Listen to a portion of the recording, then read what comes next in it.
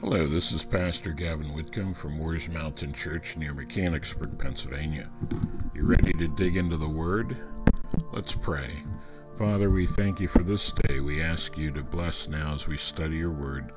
May you open our eyes and our understanding. In Jesus' name, amen. Well, we're uh, talking about biblical relationships today. You know, uh, as I record this, Valentine's Day is next week, and it's hard to find a more biblical subject than the idea of love. And uh, so we're going to look at some biblical uh, biblical principles that help to uh, build good relationships. And this would apply especially to marriage, but to other relationships as well. Life is built on relationships with other people. Unless you're a hermit and you live out in the wilderness all by yourself, uh, there are other people involved and and so if these principles are taken and consistently applied by everybody involved then they're going to work. So um, matthew 22 verses 34 through 40 uh, jesus was asked a question. When the pharisees had heard that he had put the sadducees to silence they were gathered together then one of them, which was a lawyer, asked him a question, tempting him, you know, putting him to the test and probably trying to trip him up in his words or get him to say something wrong, uh, tempting him, um, saying, Master, which is the great commandment in the law? You know, what's the biggest commandment, the most important commandment? Now, you know, that is a great question. That is a good question. Jesus said unto him, Thou shalt love the Lord thy God with all thy heart, with all thy soul, and with all thy mind. This is the first and great commandment. So now what Jesus was saying is that, you know, to, to love the Lord your God with all your being, you know, all your heart and all your soul, and some other passages he says, in all your strength. In other words, that, that speaks of serving God and, and uh, doing the things that God wants us to do and, and serving in the Lord's work with all your strength and uh, with all your mind. Now, what does it mean to love God? Do you love God? Well, uh, loving God means that we highly esteem and we honor Him, and we we acknowledge Him in all our ways, and we because we think highly of him and love him, we, we want to keep his commandments. I, I know I just used the word love in the definition, but you, you hold God in high esteem and you honor him and you, you want him involved in your life and you want your you want to think about him and uh, you obey his commandments. That's the proof that we love the Lord. Do you love God? That's the greatest commandment. And then he said, uh, and the second greatest commandment is like unto it thou shalt love thy neighbor as thyself. Now what, what i've just read to you is nothing new. You know if, if you've been a christian or you have any knowledge about god's word we know that elsewhere the apostle paul said that the entire moral law of god can be summarized in those two commandments. Love god with all your heart love your neighbor as yourself. But the question is is that the way we live are we practicing? Yeah, they're easy to understand, but and we know them, but are we living them and are we doing them? That's the important thing. And hopefully the case is yes. And if we recognize we're failing, we should be quick to repent and to uh, make it right and get back up on the right path. So, what is what does it mean to love your neighbor as yourself? Well, love is doing what's best for others without the motive of personal gain. And a lot of people, they have this idea that love is a feeling. Well, you know, there are feelings with love, and but feelings can come and go. The biblical love that God is talking about, that He requires us to, to have for our neighbor as ourself, that kind of uh, biblical love is more of an attitude or way of thinking that's accompanied by actions. So it's a way of thinking that says, I want what's best for others. And you know, um, hatred is the opposite of love, but you know, there's another sense in which selfishness is the opposite of love. You know, selfishness is I want what I want and I don't care about anyone else. Well, love is the opposite. Love is, hey, I care about other people too. Yes, I care about myself and my own well being, but I care about you too. And I want what's best for you. So I'm going to treat you right in, a, in, in accordance with God's word and his principles and his commandments. That's biblical love. And that's a choice. Why can God command it? Well, because we can choose to love others. We can choose to view others and treat them in that way. So um, now, when it comes to loving your neighbor as yourself, Jesus said, you know, we when we deal with other people, we should think, you know, as you would that men should do unto you, you know, do do to them, do unto others as you would have them do unto you. In other words, a guiding principle to help you love is, would I want somebody to do this to me? Would I want someone to say this to me? Would I want someone else to treat me like this? And and so that's what it means to love your neighbor as yourself. Boy, if the whole world would consistently live by that principle, wouldn't the world be a much better place? And of course the answer is yes. Well, we can have that better place in our own lives, in our in our own homes. So um, when it comes to your neighbor, Jesus was asked, "Who is your neighbor?" And in the parable of the Good Samaritan, everyone is our neighbor. But who's our nearest neighbor? That would be our spouse or our family members. They're our neighbors. They're our nearest neighbor, right? That they're included in love your neighbor as yourself. And so our greatest effort to love should be expended on our family and our nearest uh, neighbors. And, and so if, uh, if we fail to love them the way that we should, um, we, we should feel grieved, and that should cause us to seek the Lord to to help us better relate to them. Now, so so consistently applying God's principles to our marriage or other relationships, it'll um, it'll lead to peace and harmony. Now, I'm talking about consistently applying God's principles. I mean, we can't say things aren't going too well, so okay, today I'm to really try to practice and apply God's principles, and then then oh things didn't get better, so the next day you quit. That's the, the consistent application is what we're after here.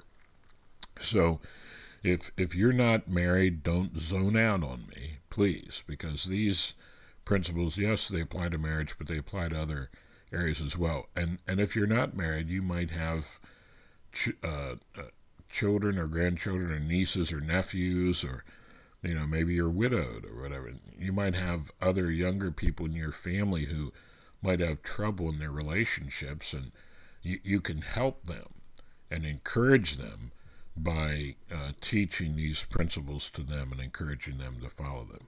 Okay, now the first principle uh, would be Christ centeredness. What I mean is, we, you and I who are saved, we should live a Christ centered life. In other words, Jesus is our Lord and our Savior. Lord means master. Okay, so He is our King. He reigns and rules in our hearts. And so he, He's our boss. So we follow and do what He says.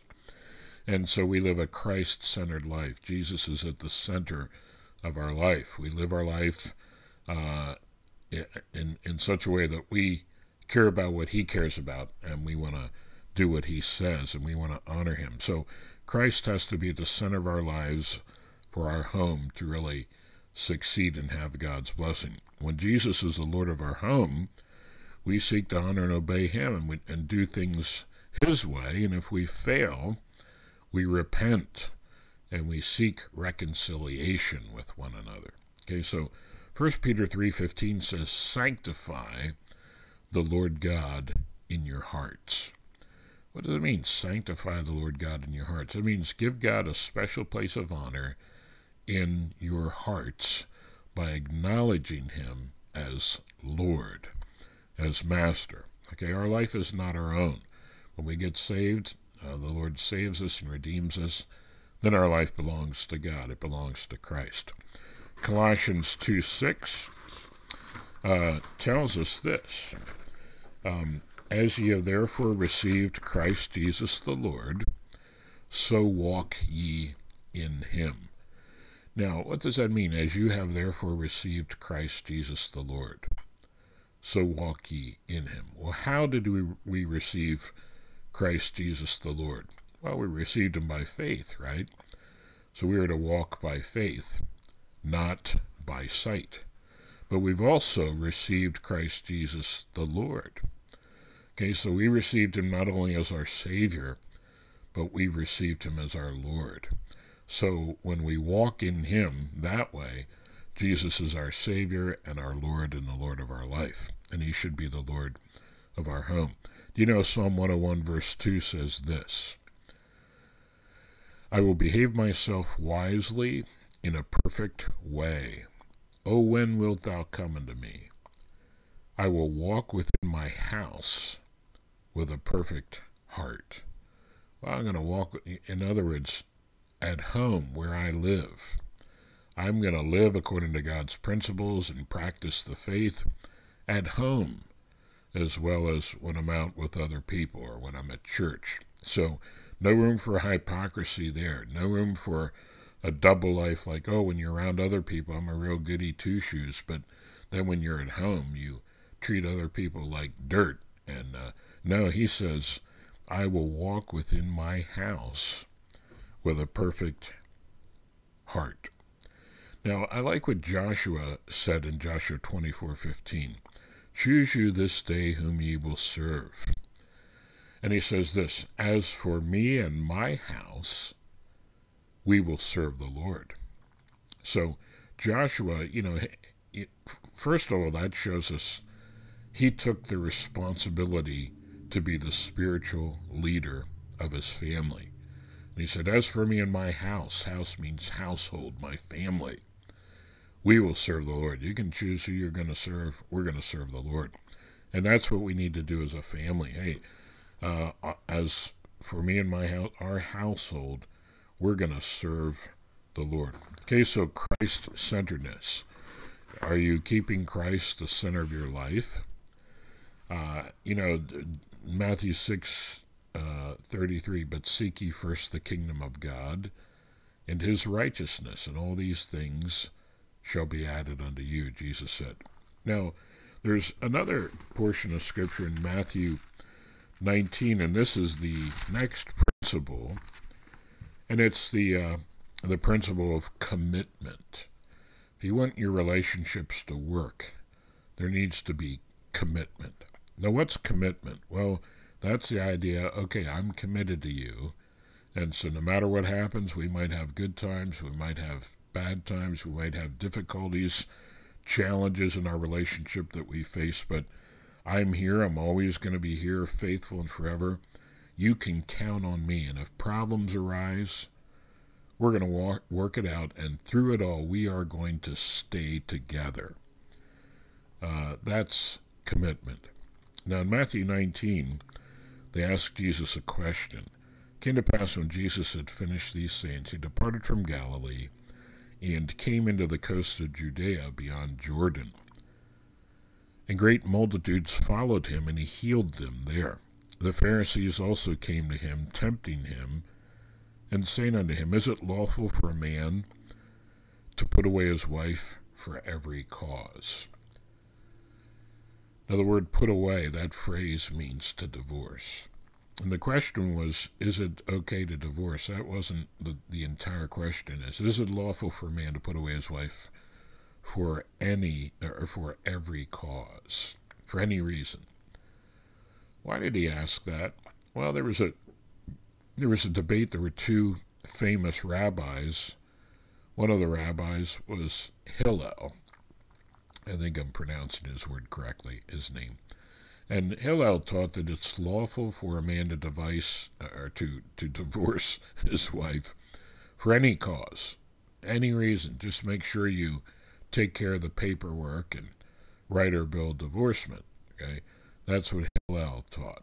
But uh, Shammai, and I think I'm pronouncing his name correctly too, hopefully, oh well, he taught that divorce and remarriage is only permissible in cases of divorce, If you have a spouse that cheats on you, is unfaithful, you can divorce and then you can marry another. So, so they're asking Jesus, is it lawful for a man to put away his wife for every cause? Is uh, Hillel correct, basically? And he answered and said unto them, Have ye not read that he which made them at the beginning made them male and female? So how many genders did God create? Two, right? Male and female. And um, so rather than Jesus going right to the idea of is it okay to divorce for any reason, he focuses first on the purpose of marriage. And so God made them at the beginning male and female, and he said, For this cause shall man leave his father and mother, and shall cleave to his wife. Cleave means cling to. And they twain shall be one flesh. Okay, so the two become one. Wherefore they are no more twain, meaning two, but one flesh.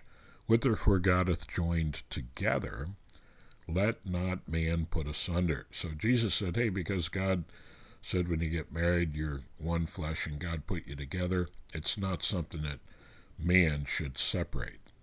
So then they ask, well, then why did Moses then command to give a writing of divorcement and to put her away? That's in Deuteronomy 24.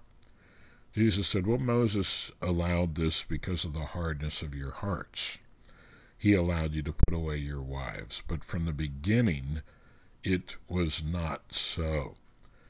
So, in other words, uh, that, that wasn't God's plan from the beginning. But in the law of Moses, God made an accommodation to man's weakness, but it, it wasn't his plan. Uh, it was because of the hardness of their hearts, Moses allowed it. So it's going to happen anyway, so God gave some regulations to impede it. Uh, and, and I say unto you, whosoever shall put away his wife, except it be for fornication, and mar- shall marry another, committeth adultery, and whoso marrieth her which is put away doth commit adultery. Now, Jesus' point was this yeah, you might go through the paperwork and say, okay, it's an official divorce, so now I'm not married to that person anymore, so I can go and remarry. Well, Jesus said, when you do that, you're you're breaking the spirit of the commandment, "Thou shalt commit adultery." So, in that sense, you're committing adultery. This idea of, "Oh, I'm married to someone else. I see someone I like better, so I'm going to divorce this person and marry someone else." That that's that's adultery. But Jesus did say there's an exception to this. He said, "Except it be for fornication." Okay, if your spouse commits adultery against you, there's biblical grounds for divorce. So, unless your spouse is cheating on you, uh, or they abandon you and desert you, uh, there's no biblical grounds for divorce. So, in other words, get the idea of divorce out of your mind. God says we should have an attitude of commitment. So, no matter what problems uh, arise, and shame on you if you are a discontented, dissatisfied spouse and you're threatening your spouse to divorce them without biblical grounds, shame on you. And I ask you to just accept that reproof. It's wrong. That's the totally wrong attitude. How are you going to have successful relationships with that attitude? Uh, that, that's a hindrance. So God would have us um, navigate our troubles through uh, through the idea of hey, um, whatever it is, we're committed. So divorce is not an option. Unbiblical divorce is not an option. We're going to work through our problems. Okay, now so we have Christ-centeredness and commitment. Now the next key to successful relationships and marriage and other relationships is clemency. Now, I chose the word clemency because it starts with a C uh, I, I couldn't resist. But clemency is you, you have a merciful attitude that is willing to forgive. Okay, forgiveness. You know, people are fallen, imperfect creatures. I am a fallen, imperfect creature. Am I perfect? No. I make no claim to be perfect. I make no claim to be sinless. I do make this claim, and it's true from my heart, that I'm sincere, but sometimes I fail. And and people are that way. We all have faults. We all have failures. We all have shortcomings, and sometimes we may let other people down. I'm sure sometimes I let people down. I mean, I am I have my flaws. I'm human. And and so are you. So God teaches us to extend mercy and grace and forgiveness towards those who trespass against us. And this is nothing new, but sometimes we need to be reminded of this. And so, um, what what did Jesus? He said, "Forgiving one another, even as God, for Christ's sake, hath forgiven you." Remember in the Lord's prayer, "Forgive us our trespasses, as we forgive those who trespass against us." Right? Forgive us our debts, as we forgive our debtors. Are you a forgiving person? If not, if you are not a forgiving person, who, who, let me ask you this, who do you think you are? I mean, you never sin? What?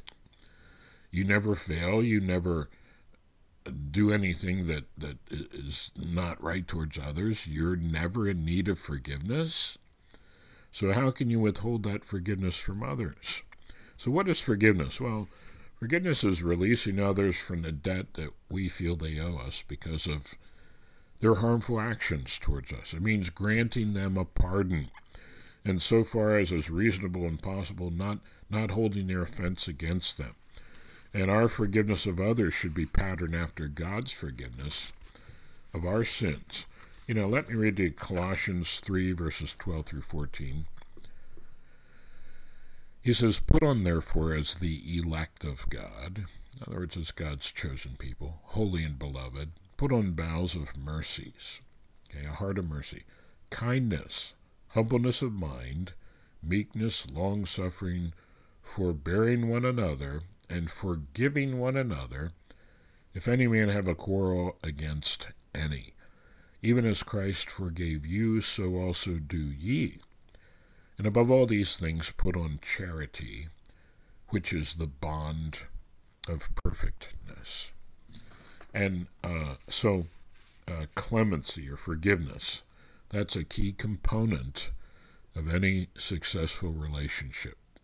And uh, marriage or, you know, um, children, grandchildren, nieces, and nephews, co workers, fellow church members. Now, the, the next um, principle is the principle of kindness. Now we know from God's word we're to be kind one to another, right? And uh, ki- what is kindness? Well, it's doing good to others. That's basically the meaning of kindness. So when we think of kindness, we think of doing good things. But, you know, kindness also extends to our speech. In other words, it ought to. In uh, Proverbs 31, verse 26, he describes the virtuous woman. And he says, She openeth her mouth with wisdom, and in her tongue is the law of kindness. In her tongue is the law of kindness. In other words, her, what, what she says is governed by kindness. And that's a good thing for a virtuous woman, but it's also good for a virtuous, wise, and godly man as well. So, a good question to ask ourselves before we say something Is it true? Is it kind? And uh, is it necessary? And would it be better if I didn't say this? So, um, inner tongue is a law of kindness.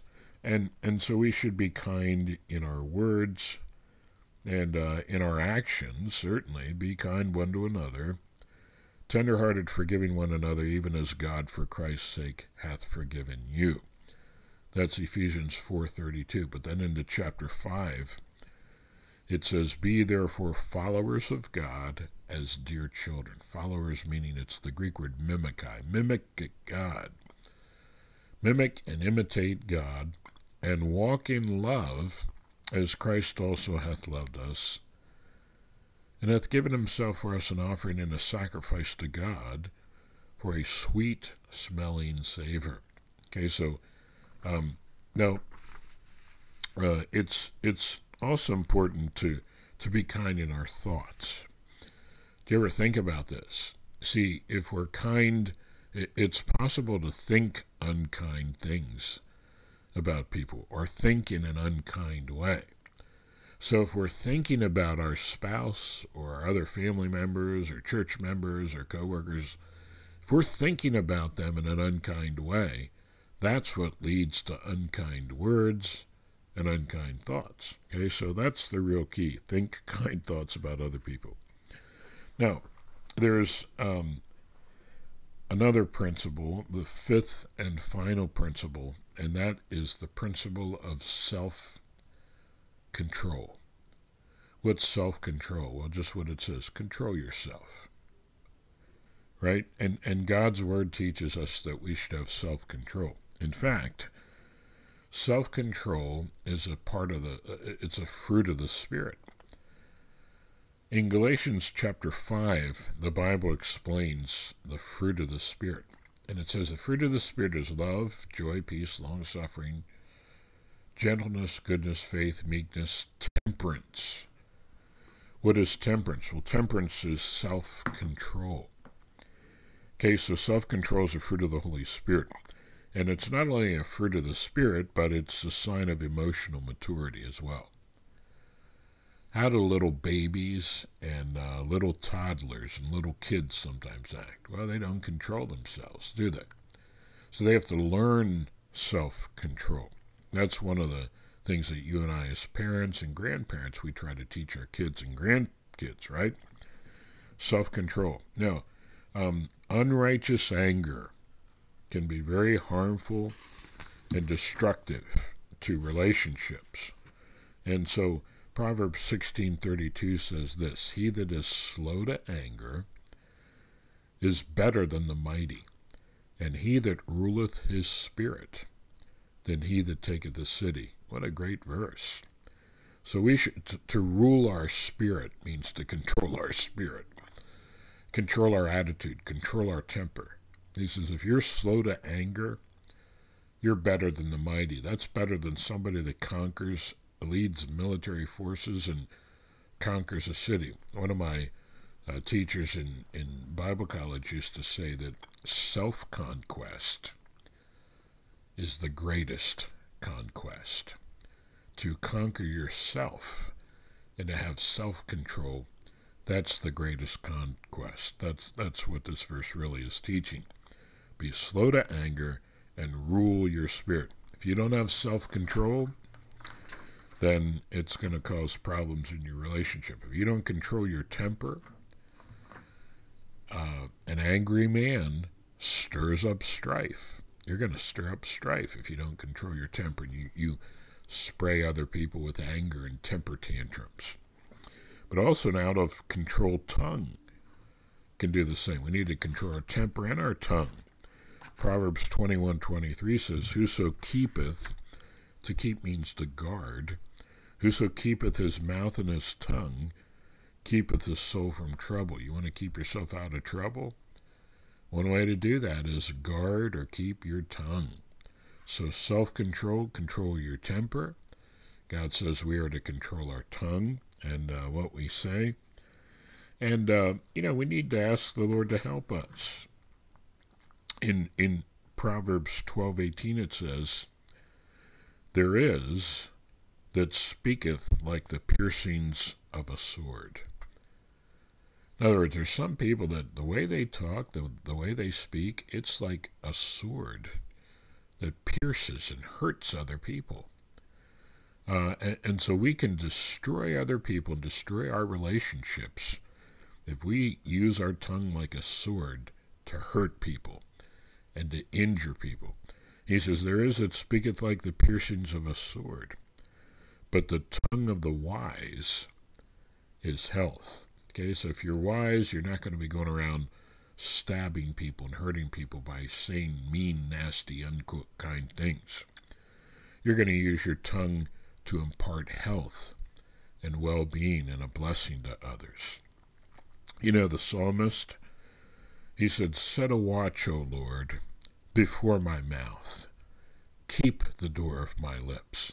He was saying, Lord, I'm acknowledging I need you to help guard my mouth and help guard the door of my lips because I do not want to say things that are bad or hurtful and destructive to others. You know, walking in the Spirit gives us power over the and, and victory over the flesh. In Galatians 5, it says, If you walk in the Spirit, and you won't fulfill the lust of the flesh. And what we need to do when we're tempted to say things that are not good or tempted to react in the wrong way, say, Lord, please give me your wisdom and fill me with your Holy Spirit. Holy Spirit of God, please take control of me. I don't want to react in the wrong way. I want you to fill me and guide me and, and help me to respond the right way. Walk in the Spirit, you won't act that way. You won't lack self control. You'll be kind. You'll be forgiving. You'll um, uh, express a, an attitude of commitment, and you'll be Christ centered. James, so this, not, a lot of these things are not new, but uh, James says this Be ye doers of the word, James 1.22, Be ye doers of the word, and not hearers only. We can do this. Now go do it. May the Lord bless you and keep you, and may uh, he lift up his countenance upon you and give you peace and self control. May the fruit of the Spirit be abundantly uh, manifested in your life and in mine. God bless you.